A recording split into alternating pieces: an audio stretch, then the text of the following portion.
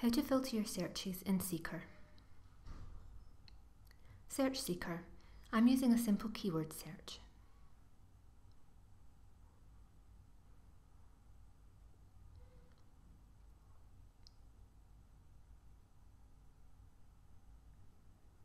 You might find you've got too many results to read through,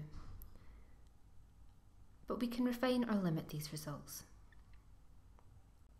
The You Have Access filter is important it limits results to only items you can read online or get from the library. Select the box and click Update. Now we've only got 53 results to look through.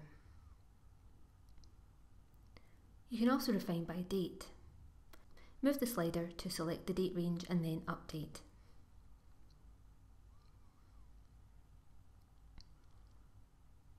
The results have now reduced to 42.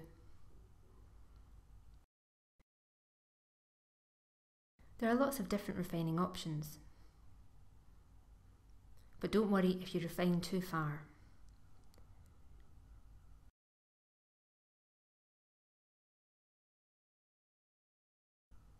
Just click the X to remove the limiter.